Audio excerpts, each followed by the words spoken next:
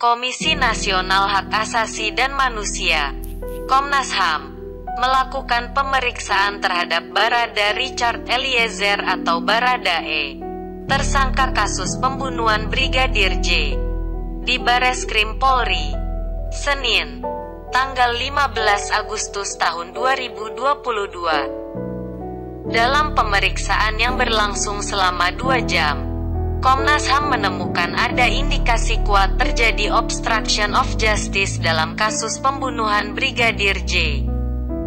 Sementara itu, istri mantan Kadif Propam Polri Irjen Verdi Sambo, Putri Chandrawati, sempat mengirimkan foto Brigadir J pada adik almarhum. Kuasa hukum Brigadir J, Kamarudin Simanjuntak, mengatakan foto itu diambil ketika keluarga Putri Chandrawati dan para ajudannya ada di Magelang, Jawa Tengah. Komisioner Komnas HAMRI, M. Koirul Anam, mengungkapkan dari pemeriksaan tersebut Komnas HAM menemukan indikasi kuat adanya obstruction of justice, perintangan penyelidikan, dalam kasus tewasnya Brigadir indikasi atau dugaan kuat tersebut, kata Anam, diperoleh di antaranya dengan menyandingkan keterangan terbaru Baradae kepada Komnas HAM dengan data yang dimiliki Komnas HAM.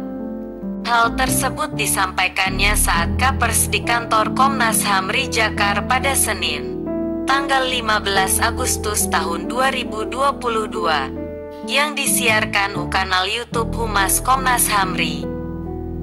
Indikasinya sangat kuat. Adanya obstruction of justice yang kita telusuri. Mulai dari kisah Magelang, Saguling, rumah pribadi Irjen Verdi Sambo, sampai TKP, rumah dinas Sambo, kata Anam. Pada tanggal 17 Agustus tahun 2022, Indonesia akan memperingati HAT ke-77 RI. Dikutip dari setnek.go.id, pemerintah telah menetapkan tema HAT ke